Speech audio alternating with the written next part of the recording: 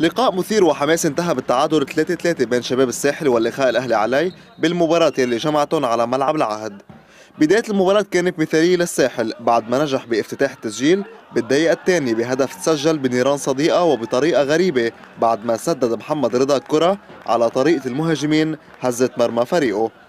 بمنتصف الشوط الأول عوض محمد رضا جزء من خطأه وأرسل كرة عرضية تابعها أليكسي خزاقة برأسه على يسار الحارس عباس شيت. لتتعادل الأرقام للمرة الأولى باللقاء وبالتأكيد مش الأخيرة.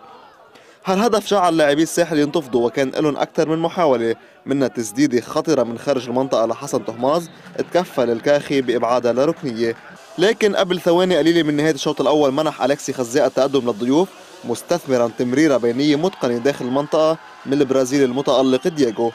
بالشوط الثاني دخل لاعبي الساحل بهدف التعويض وبالفعل كلل حسن طهماز مجهوده الكبير بهالمباراة ومنح فريقه التعادل بعد 1-2 مع السوري علي غليوم أنهى بتسديدة عادت الأرقام لمرة ثانية بهاللقاء. الساحل 2 الإخاء الأهلي علي 2 الإثارة استمرت بهالشوط بعد ما عاد دياغو للتألق من جديد والمساهمة بتقدم فريقه بعد مجهود فردي ممتاز ليمرر كرة على طبق من ذهب لمحمد حمود يلي ما وجد أي صعوبة بهز الشباك.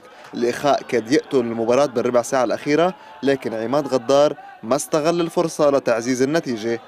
الساحل ضغط بالدقائق الأخيرة تسديدة من موسى زيات أبعد الكاخي. قبل ما يثمر الضغط الساحلي عن هدف التعادل الثالث عبر البديل العاجي كريسترامي لورانيو لتنتهي هالمباراة بتعادل عادل ويتقاسم الفريقين نقاط اللقاء.